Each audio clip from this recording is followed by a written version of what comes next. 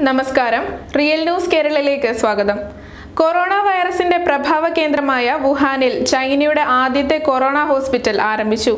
ജോലിക്കാരും വോളണ്ടിയർമാരും രണ്ട് ദിവസം നിർത്താതെ ജോലി ചെയ്താണ് ഒരു ഒഴിഞ്ഞ കെട്ടിടം ആയിരം ബെഡുള്ള അടിയന്തര സൗകര്യമാക്കി മാറ്റിയെടുത്തത്. സർക്കാർ ജീവനക്കാർ കൂടാതെ കൺസ്ട്രക്ഷൻ കമ്പനികളും പാരാമിലിറ്ററി പോലീസ് സേനകളും സംയുക്തമായാണ് നാൽപ്പത്തിയെട്ട് മണിക്കൂർ കൊണ്ട് തയ്യാറാക്കിയതെന്ന് നഗരാധികൃതർ പറഞ്ഞു. നഗരത്തിലെ ഹുവാങ്സു ജില്ലയിലെ ഹുവാൻഗാങ് സെൻട്രൽ ഹോസ്പിറ്റലിന്റെ ശാഖ പ്രവർത്തനം ആരംഭിക്കാൻ നിർമ്മിച്ച കെട്ടിടമാണ് രണ്ട് ദിവസം കൊണ്ട് കൊറോണ വൈറസ് ആശുപത്രിയാക്കി മാറ്റിയത്.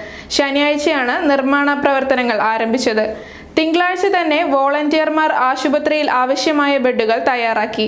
ഇതിനു പുറമെ വെള്ളം വൈദ്യുതി ഇന്റർനെറ്റ് സംവിധാനങ്ങളും സ്ഥാപിച്ചു.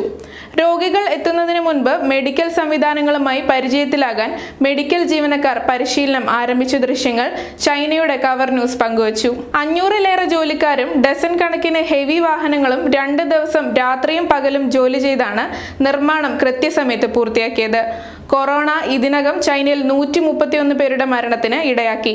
ആഗോളതലത്തിൽ ആറായിരം പേർക്കാണ് വൈറസ് പിടിപെട്ടിരിക്കുന്നത്. മറ്റ് നാല് കൊറോണ ഹോസ്പിറ്റലുകളും ചികിത്സയ്ക്കായി വുഹാൻ തയ്യാറാക്കുന്നുണ്ട്.